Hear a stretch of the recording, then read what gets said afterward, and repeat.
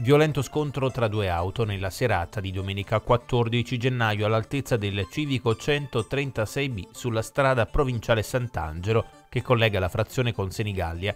Sono al vaglio della polizia stradale le cause della collisione tra una Mini One e una Renault Clio. Erano le 21.45 quando è arrivata la segnalazione al 115 chiamando all'intervento insieme agli agenti della stradale e al personale del 118 anche un mezzo dei vigili del fuoco di Senigallia.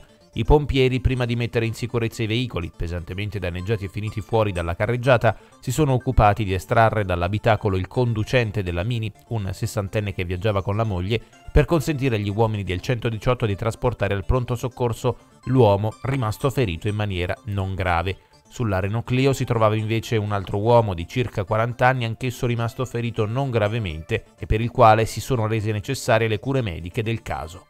Tentata rapina sabato sera nella ricevitoria tabacchi di via Rossini a Senigallia, poco prima dell'orario di chiusura intorno alle 20, un uomo è entrato nel locale. In quel momento all'interno c'era solo la titolare che si stava preparando per la chiusura. La donna, i carabinieri intervenuti sul posto, ha riferito di un uomo vestito con abiti scuri e con il volto parzialmente travisato, che brandendo un coltello le ha chiesto i soldi. La donna ha iniziato ad urlare chiedendo aiuto. A quel punto il rapinatore, considerato che a fianco della tabaccheria ci sono altre attività commerciali, è subito scappato. Dell'uomo non c'era traccia quando sono arrivati i militari, che ora stanno visionando i filmati di alcune telecamere della zona in cerca di utili indizi.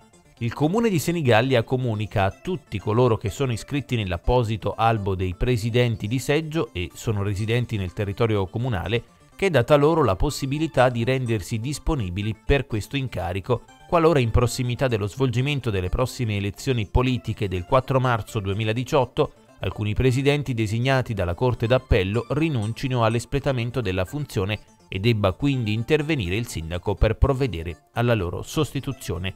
Le richieste dovranno essere presentate utilizzando esclusivamente un modello predisposto dall'ufficio elettorale disponibile nella sede di Piazza Roma 8 o scaricabile dal portale istituzionale del comune www.comune.senigallia.an.it. Sono 3.015 le imprese digitali marchigiane secondo una elaborazione dell'Ufficio Studi Confartigianato su dati Union Camere Infocamere al terzo trimestre 2017.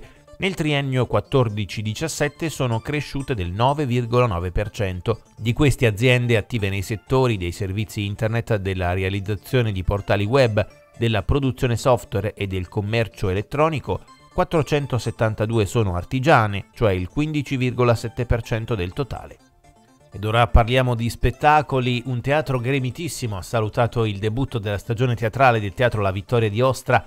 A salire sul palco ed infiammare la serata ci hanno pensato i fratelli Severini, storica rock band marchigiana conosciuta con il nome di The Gang, e il cantante del Colorado Tom Shacon, ribattezzato dalla critica Durangos Dylan, che ha portato sul palco i brani tratti dalla sua ultima fatica Blood in the USA, nel quale sono il bassista di Bob Dylan Tony Garnier. Prima di salutarci, l'appuntamento di domani sera, mercoledì 17 gennaio alle 21 nella sala Ciani del Palazzo Comunale di Corinaldo, con l'incontro dal titolo Radici culturali della violenza di genere, educazione e stereotipi, il primo di tre incontri che va ad inserirsi nel progetto Informiamoci insieme per le pari opportunità, percorso di informazione e sensibilizzazione rivolto a tutte le associazioni corinaldesi per la prevenzione e contrasto alla violenza sulle donne.